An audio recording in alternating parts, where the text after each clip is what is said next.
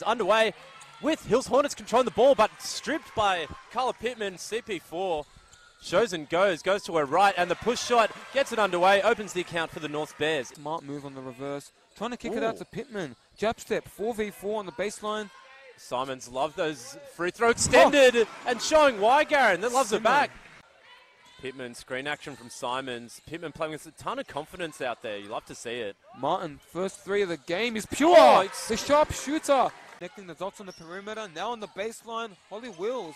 Ooh. Oh yeah, that was the easiest rebound, rebound yeah. Shika will get all afternoon, And and four for Pitman, and finally gets one to go. yeah, up Some to big ten minutes. points now. Yeah, some big minutes now for Hills. Pitman drawing a lot of stop? attention. Lauren Walker in the corner Oh. pocket zone. Lauren Flame on Walker.